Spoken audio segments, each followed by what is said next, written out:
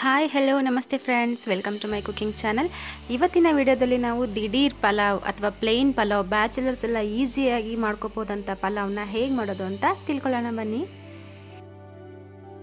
ದಿಢೀರ್ ಪಲಾವ್ ಮಾಡಲಿಕ್ಕೆ ನಾನಿಲ್ಲಿ ಒಂದು ಕುಕ್ಕರಿಗೆ ಒಂದು ನಾಲ್ಕರಿಂದ ಐದು ಟೇಬಲ್ ಸ್ಪೂನಷ್ಟು ಕುಕ್ಕಿಂಗ್ ಆಯಿಲ್ ಹಾಕೋತಾ ಇದ್ದೀನಿ. ಹಾಗೆ ಎರಡು ಟೇಬಲ್ ಸ್ಪೂನಷ್ಟು ತುಪ್ಪ ಹಾಕೋತಾ ಇದ್ದೀನಿ. ತುಪ್ಪ ಕರಗಿದ ನಂತರ ನಾನಿಲ್ಲಿ ಒಂದು ಮೂರು ಬೇ ಲೀಫ್ ಹಾಕೋತಾ ಇದ್ದೀನಿ. ಹಾಗೆ ಎರಡು ಏಲಕ್ಕಿ ಒಂದೆರಡು ಮೂರು ಪೀಸಷ್ಟು ಚಕ್ಕೆ, ಹಾಗೆ ಒಂದು ನಾಲ್ಕರಿಂದ ಐದು ಲವಂಗ, ಒಂದು ಟೇಬಲ್ ಸ್ಪೂನಷ್ಟು ಜೀರಿಗೆ ಹಾಕ್ಕೊಂಡ್ಬಿಟ್ಟು ಇದ್ರ ಜೊತೆಯಲ್ಲಿ ನಾನು ಹಸಿಮೆಣಸಿನ್ಕಾಯಿ ಹಾಕೋತಾ ಇದ್ದೀನಿ. ಒಂದು ನಾಲ್ಕರಿಂದ ಐದು ಕ, ಈ ಮೆಣಸಿನ್ಕಾಯಿ ಖಾರ ಇದೆ ತುಂಬ, ಸೊ ಅದಕ್ಕೋಸ್ಕರ ನಾನು ನಾಲ್ಕರಿಂದ ಐದು ಹಾಕೋತಾ ಇದ್ದೀನಿ. ಹಾಗೆ ಈರುಳ್ಳಿ, ಒಂದು ಈರುಳ್ಳಿನ ದೊಡ್ಡ ಗಡ್ಡೆನ ಚಿಕ್ಕದಾಗಿ ಹೆಚ್ಚಿಟ್ಕೊಂಡಿದ್ದೀನಿ. ಸೊ ಅದನ್ನು ಹಾಕ್ಕೊಂಡ್ಬಿಟ್ಟು ಚೆನ್ನಾಗಿ ಫ್ರೈ ಮಾಡ್ಕೊಳ್ತಾ ಇದ್ದೀನಿ. ಸೊ ಇದು ಸ್ವಲ್ಪ ಫ್ರೈ ಆಗ್ತಿದ್ದಾಗೆ ಒಂದು ಅರ್ಧ ಟೇಬಲ್ ಸ್ಪೂನಷ್ಟು ಅರಿಶಿನ ಪುಡಿ ಹಾಕ್ತಾ ಇದ್ದೀನಿ. ಅದನ್ನು ಕೂಡ ಫ್ರೈ ಮಾಡ್ಕೊತಾ ಇದ್ದೀನಿ. ಹಾಗೆ ಕರಿಬೇವು ಸ್ವಲ್ಪ.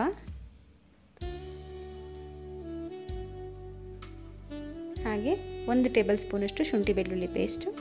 ಎಲ್ಲ ಹಾಕ್ಬಿಟ್ಟು ಚೆನ್ನಾಗಿ ಮಿಕ್ಸ್ ಮಾಡ್ಕೊಳ್ಳೋಣ.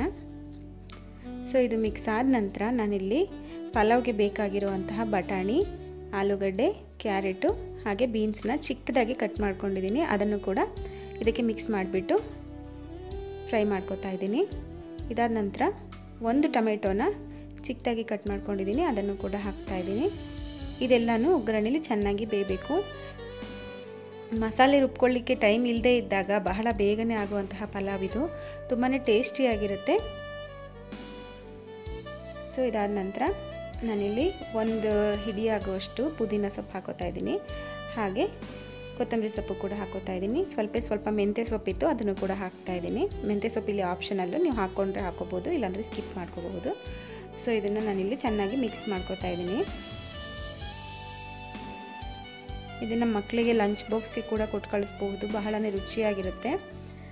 ಸೊ ಇದು ಸ್ವಲ್ಪ ಎಣ್ಣೆಯಲ್ಲಿ ಫ್ರೈ ಆಗಬೇಕು. ನೋಡಿ ಇದಾದ ನಂತರ ಇನ್ನೊಂದು ಸಾರಿ ಮಿಕ್ಸ್ ಮಾಡ್ಕೊಂಡ್ಬಿಟ್ಟು ತೊಳೆದಿಟ್ಕೊಂಡಿರುವಂಥ ಅಕ್ಕಿ ಮಿಕ್ಸ್ ಮಾಡ್ತಾ ಇದ್ದೀನಿ. ನಾನಿಲ್ಲಿ ಮೂರು ಕಪ್ ಆಗುವಷ್ಟು ಅಕ್ಕಿ ತಗೊಂಡಿದ್ದೀನಿ. ಸೊ ಅದಕ್ಕೆ ಆರು ಕಪ್ ಆಗುವಷ್ಟು ನೀರನ್ನು ಕೂಡ ಸೇರಿಸ್ತೀನಿ. ನೀರನ್ನು ಸೇರಿಸೋದಕ್ಕಿಂತ ಮುಂಚೆ ಇದನ್ನು ಒಂದ್ಸರಿ ತುಪ್ಪ ಹಾಗೂ ಎಣ್ಣೆಯಲ್ಲಿ ಫ್ರೈ ಮಾಡ್ಕೊಳ್ಳೋಣ. ಹೀಗೆ ಮಾಡೋದ್ರಿಂದ ಪಲಾವ್ ಉದ್ರುದ್ರಾಗಿ ಬರುತ್ತೆ. ಸೊ ಅದಕ್ಕೋಸ್ಕರ. ಸೊ ಇವಾಗ ನಾನಿಲ್ಲಿ ಆರು ಕಪ್ ಆಗುವಷ್ಟು ನೀರನ್ನು ಸೇರಿಸ್ತಾ ಇದ್ದೀನಿ. ಹಾಗೆ ಚೆನ್ನಾಗಿ ಒಂದು ಸಾರಿ ಮಿಕ್ಸ್ ಮಾಡ್ಕೊತಾ ಇದ್ದೀನಿ. ಇದೆಲ್ಲ ಚೆನ್ನಾಗಿ ಮಿಕ್ಸ್ ಆಗಿ ಒಂದು ಕುದಿ ಬರಬೇಕು. ನಾನಿಲ್ಲಿ ರುಚಿಗೆ ತಕ್ಕಷ್ಟು ಉಪ್ಪು ಸೇರಿಸ್ತಾ ಇದ್ದೀನಿ. ಹಾಗೆ ಇದನ್ನು ಒಂದು ಕುದಿ ಬರಲಿಕ್ಕೆ ಬಿಡೋಣ.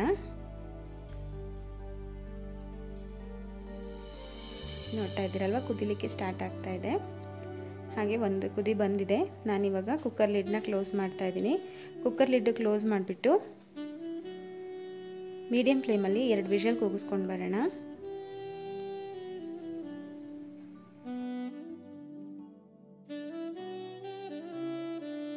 ಸೊ ಇವಾಗ ಕುಕ್ಕರ್ ಕೂಗಿದೆ ನೋಡಿ.